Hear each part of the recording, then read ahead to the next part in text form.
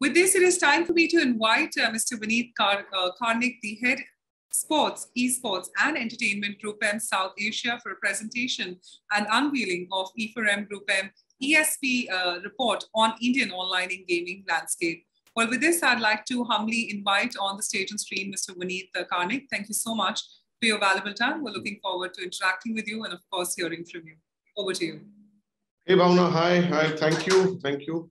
Uh, and welcome you all. I think uh, I was uh, listening to the first session and it was absolutely uh, fantastic to to know these views. And I think the uh, the discussion between Mr. Batra uh, and Mr. Weber was also very interesting. I think that gives a fantastic pivot to to the entire effort from from E4M's standpoint and I would like to congratulate you guys for uh, for the second edition of it, and would like to welcome our audience uh, and and and the people who are interested in the gaming ecosystem uh, for the second edition. Um, so on that note. Um, uh, I would like to give a quick perspective. So, I mean, obviously, we you all know that we are we are about to launch uh, one of its kind first uh, E4M Group M ESP's report on Indian online gaming ecosystem. So before we do that, uh, we just thought that we will give a quick context in terms of uh,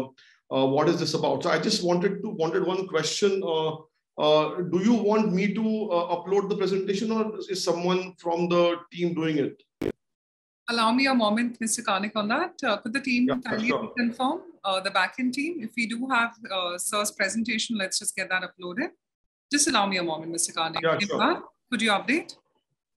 So you can see the uh, you can see the uh, slide, right? It says uh, E4M Group M report on Indian online gaming landscape. You can see yeah, that, yeah, right? Fantastic, Perfect. fantastic. So super. So so great. So uh, a very quick uh, quick heads up. So before we uh, get into the next phase of this conference. Uh, there's some, some numbers on the screen. So let me put these numbers into context. Okay. Uh, so, so I mean, we all have been speaking about a lot of excitement around gaming, where the market would look at. So we've been looking at multiple different reports uh, from various different, uh, you know, uh, parties, right from India or abroad. So uh, by and large, what we see is that people are pegging the, the entire domestic, Indian domestic online gaming market by 2023 to be uh, approximately 15,000 crores. Now that's massive. So at the beginning of this, I would want to set certain ground rules. Now 15,000 crores as a number looks very, very large and it is large. And I have no doubts that we will achieve it or no, I'm sure we will maybe surpass this number. But what is important to understand is where is this number coming from? There are three elements to this number. Okay, the first element is the entire uh, real money gaming uh, uh, kind of an ecosystem. The second is about the fantasy sports uh, ecosystem.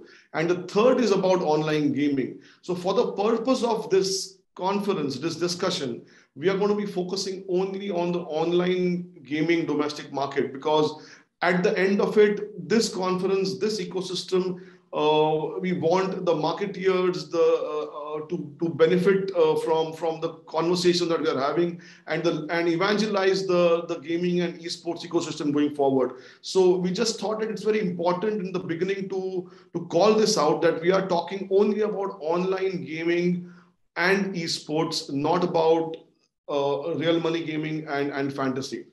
Now, on the on the right hand side top of your screen, you see a number of 400 million. Now, 400 million gamers are, are there in the country. Now, the question that comes to my mind is how many people play any sport to the tune of 400 million? So I'm, I'm not too sure if as Indians, we have got 400 million people playing any sport, whether it's cricket, football, hockey, kabaddi, I don't know. So that's a very, very large number. Now think about it, okay? Uh, I mean, I think someone in the previous session I heard talking about uh, people loving to watch uh, uh, gamers playing on streaming platform. YouTube alone talks about a 998, almost about 1,000 million subscribers uh, who have subscribed to gaming genre right now that actually is a massive number now if you look at another number on the screen which is 1.6 million that's that is about number of gaming content being uploaded on, on YouTube. Okay. Now, interestingly, if you put this into perspective, for 400 million gamers in India, 998 million gaming community subscribing to various different gaming content, there is 1.6 million pieces of videos being uploaded on YouTube till now.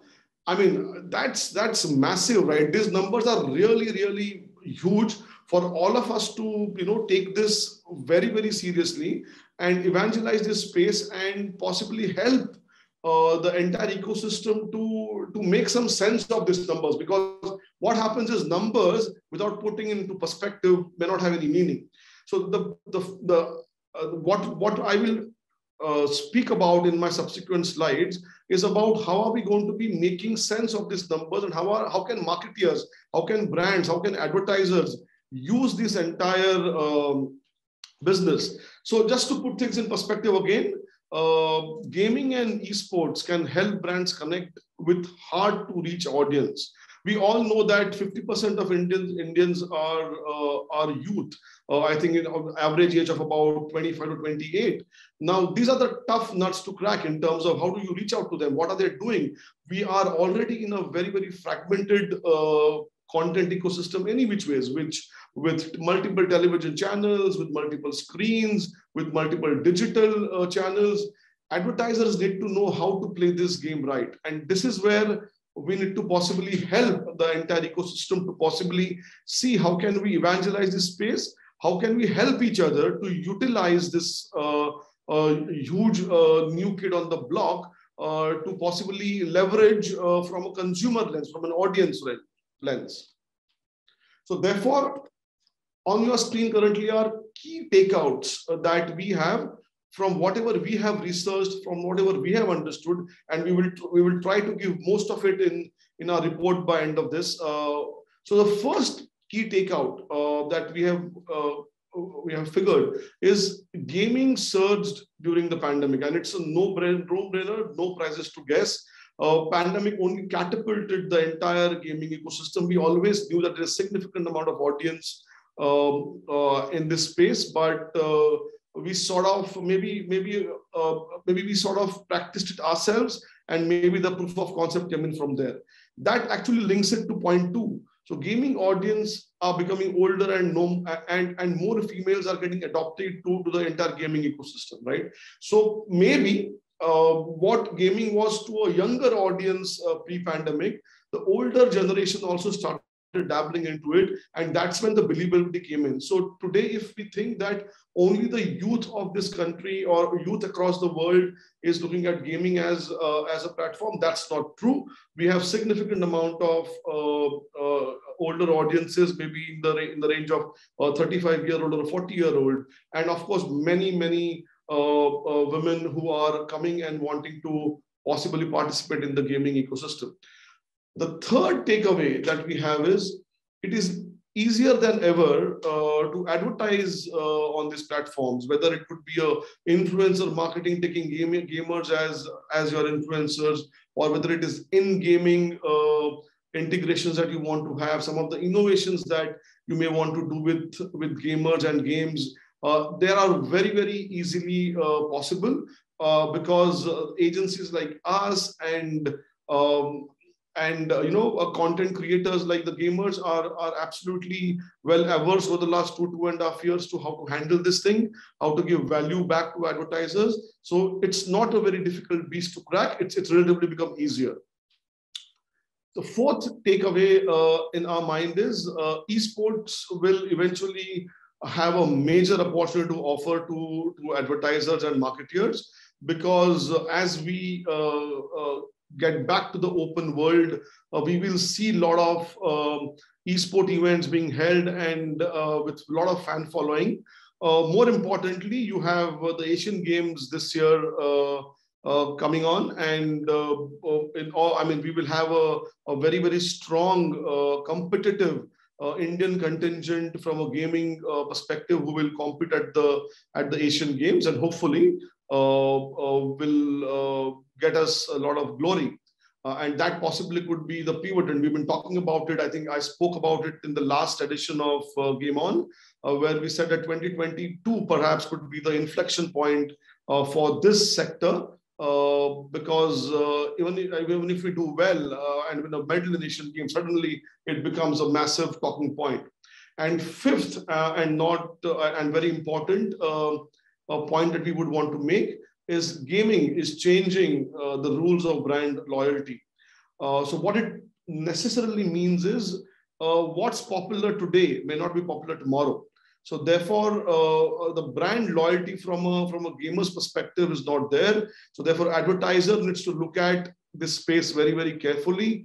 Uh, and it's not that I've participated in this game, I've done something with this game, and therefore I've done everything I think brand loyalty keeps changing. So a new game keeps coming maybe every month, every second month. So therefore, we need the, the, the landscape is uh, needs to be changing, and therefore our strategy from an advertising perspective needs to evolve uh, based on the changes in the marketplace and in the gaming ecosystem. So these, uh, in our mind, was, was our key takeaways. Uh, moving on, uh, we're going to be talking about three key stakeholders in the entire uh, ecosystem who will possibly uh, help us uh, make some sense of this from a from a from a business of gaming and esports perspective. So, so advertiser becoming a very, very important uh, uh, piece in the whole thing, followed by agencies and of course game publishers. So, what necessarily this chart says is that from an advertiser's perspective, gaming can help brands to reach and engage audience audiences uh, tricky to access via other media. So the audiences which are normally not on uh, obvious mediums like, like television, print, and some of the digital ecosystem are these gaming uh, audiences who are absolutely queued onto that. And we have seen the passion points in multiple different forums, multiple different ways. And, and most of us would agree that um, that audience is so passionate that they're only at that. So basically uh, helps reach out to a to an audience which is not engaged anywhere but only to this. So that's focus that brings uh, to this business. Gamers are more uh, amenable to ads, uh, and many suppose as long as brands do not interrupt their experiences. So unlike the television media and to some extent digital media, where where the ads are served uh, to audiences as one size fit all, uh, gamers don't pretty much enjoy uh, interruption in their in their experiences. So therefore, we need to be very innovative. We need to be very very careful about how are we engaging with them. So interactivity uh, uh, is is a is a word which I would want to bring on to this point. We need to be more interactive with this community rather than interrupting their experiences. So very very carefully curate our experiences with them from a messaging standpoint is the point we're trying to make on this. Marketeers must define their brand safety tolerance before investing in gaming. Again, so I mean, being a part of the Group M ecosystem, we understand the brand space very, very well. Most global brands and most big brands in India would have brand safety guidelines in terms of what they can do and what they can't do in terms of engaging with their audience. What typically we have seen is uh, in India, uh, gamer, uh, most popular games are, are games with a lot of violence. So we need to be very, very careful about uh, what are we trying to do with who, uh, because our brand messaging needs to somewhere be in sync with the uh, uh, uh with the with the games construct, right? Supposing I'm talking about a very, very lovable brand, very, very happy brand, and it being a part of a very, very violent kind of a game may not may not suit uh, the audience and, and the brand personality there. So I think I think couple of watchouts there uh, uh, before before we indulge. So that's the that's that's the work that advertiser needs to be doing uh, for this. Agencies like us will have to do a serious amount of work uh, uh, on this and and actually uh, we've got a lot of time uh, uh, during the lockdown and the entire uh, two years period to to do some some serious stuff here because it is easier to plan and buy advertising in around the game than ever before from a programmatic standpoint because it's it's it's quite straightforward. I mean, there's a, there's a streaming of game happening. You you put advertising uh, there. There are guidelines uh, that have been defined by the digital ecosystem. So programmatic trading model is something which which is a simpler model. However, there is a lot of work that needs to be done in the in the measurement space uh, because if this business uh, has to scale up, some kind of a standard around measurement needs to come in. Uh, because if in a, in a lack of standard, uh, people will only experiment, but they will always think about about investing uh, big dollars uh, because everybody eventually likes to look at uh, the return of investment to some extent. While we all understand it's a sunrise industry, it's an industry which we need to shape up, but without a, a, a mechanism of, of measurement, uh, this is going to be uh, challenging. So job to be done for, for us uh, and the game publishers together. Um, a very, very important point agencies can learn much from the mobile gaming apps which have become experts in performance advertising. Now, uh, while, uh, while there is no standard mechanism for measurement, uh, the point is, can we, uh, can we lean on some of the best practices uh, in, uh, in this and see can, if we can create a tool which possibly can give some insights on, on measurability, accountability, which will eventually define the ROI for, for advertisers.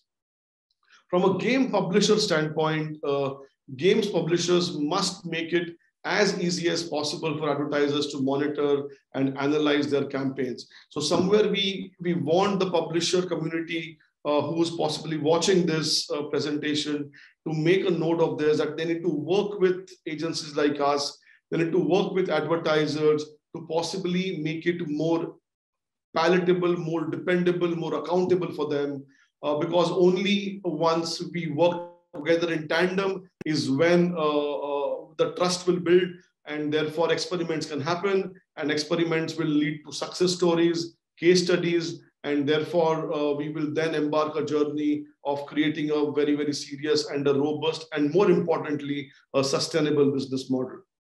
This means collaborating across industry to create a standard approach to metric and measurement is very, very important.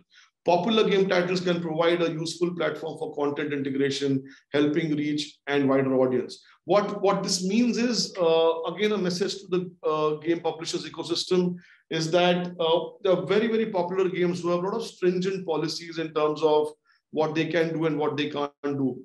Now, experimentation needs to happen at the top. It can't happen at the bottom of the pyramid. Like so, therefore, we need help and support from the publisher ecosystem who have popular games to possibly come forward and create some interesting case studies. And we are giving a couple of them in the report, which you guys will have, a, have access to in, in, in some time, wherein uh, interesting case studies need to be created, which will motivate a lot of brands and advertising community to eventually experiment and come on board and try to see if they can engage uh, with their consumers, with their audience uh, uh through that platform.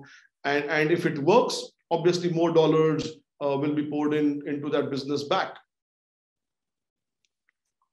Moving on, uh, we are looking at uh, six ways for brands to participate in gaming ecosystem because at the end of it, uh, we all as an industry can can can do many things without the brand support, without advertiser support. Uh, this is not going to be possible. So we are just trying to give six ways or six approaches in which brands can possibly use gaming esports uh, as a platform uh, uh, for them to promote their, their brand stories. So first and foremost, um, look at ad networks from an in, in-game inventory standpoint. okay. Uh, apologies uh, on queuing in. We just, uh, you know, the time closure is happening towards your session. So we just request you to, towards in the next few minutes, please uh, continue. Absolutely. We have got two more slides and then we are good to go. Yeah. Perfect.